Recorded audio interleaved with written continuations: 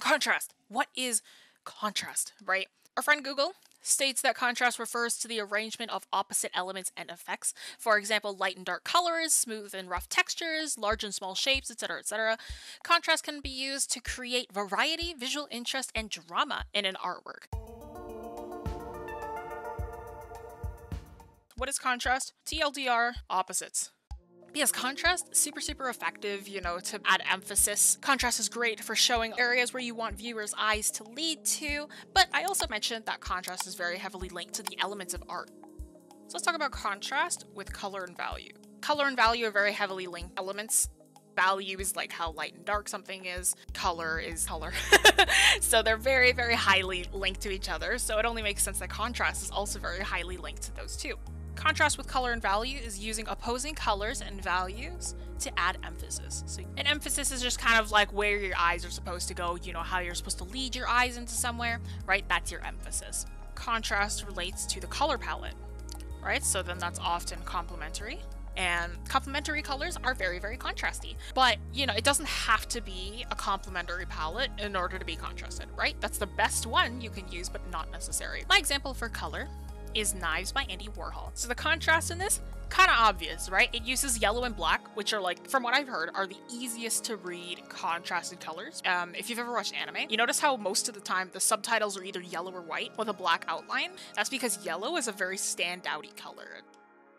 If you'd like to support the channel and the creation of free arts education, become a member on Patreon. Next one is contrast with shape, form, and line. Why is line here?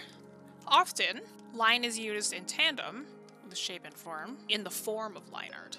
So it's usually used to emphasize the form.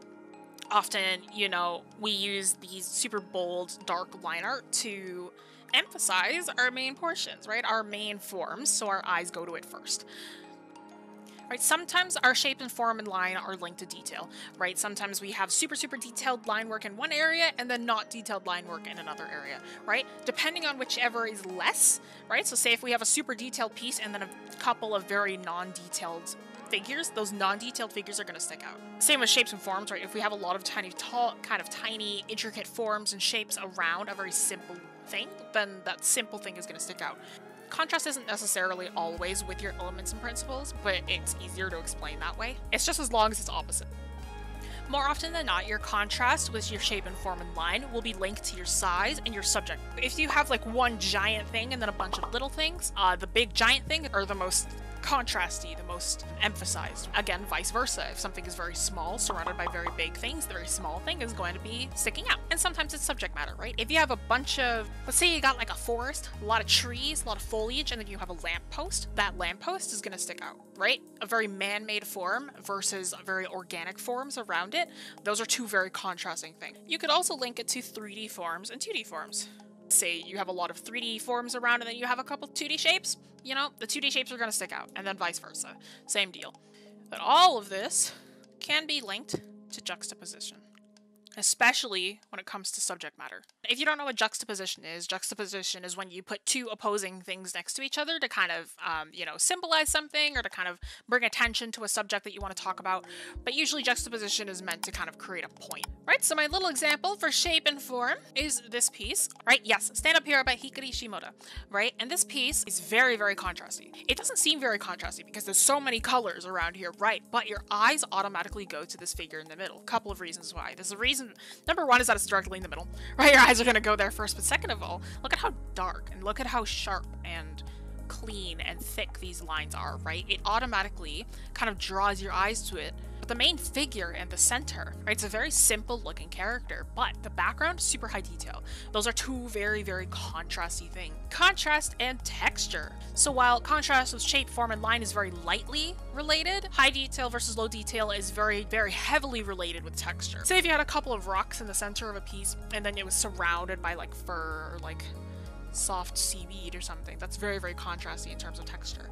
This is the man with a golden helmet painted by Rembrandt in 1650. So if you kind of zoom in on here, all of these little areas are all done with impasto. If you were to touch it, you would feel all the bumpy textures, right? But the rest of the piece is very, very thin paint, right? So you won't, it'll be all smooth kind of around here, right? But here, very textury, right? So you have your bumpy texture versus your very smooth texture. So with contrast in space, most of the time is how objects are placed and how much negative space is between each thing. If you have your main subject in focus and then all of your negative space is all blurred, that's a very easy way to add contrast and a very easy way to make something stand out.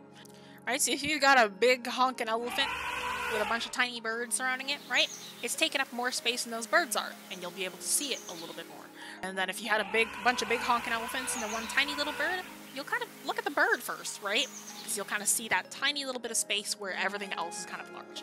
Our last little example that I will talk about. What's fun about this game is that it really uses you're only ever controlling one person, but everyone looks exactly the same.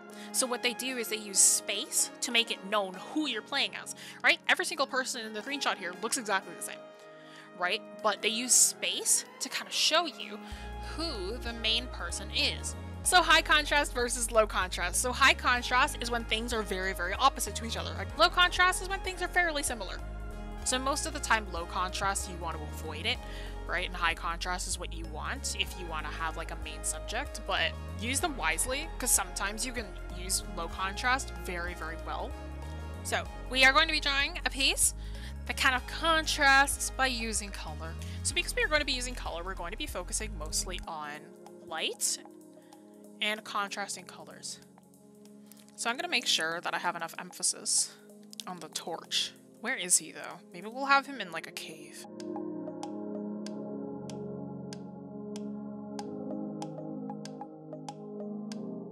So before I do any kind of lighting, flats are very important, right? You fill in your flats first and then you can get to the lighting.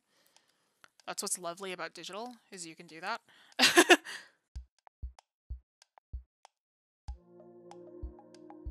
I'm to be using this orange to kind of brighten this whole thing up.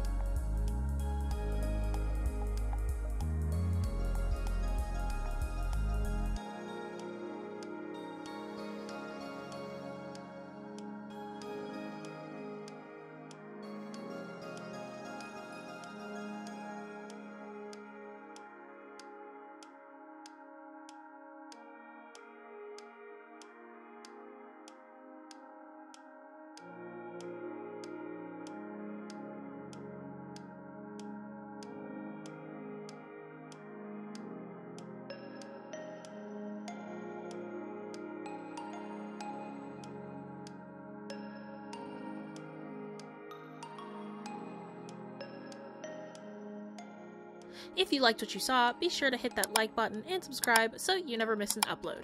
Join our art community with the links down below. If you'd like to support the channel and the creation of free arts education, become a member on Patreon for working files, behind the scenes posts, and discounts on our class offerings. If you enjoyed this video, here's a couple other videos you can check out next.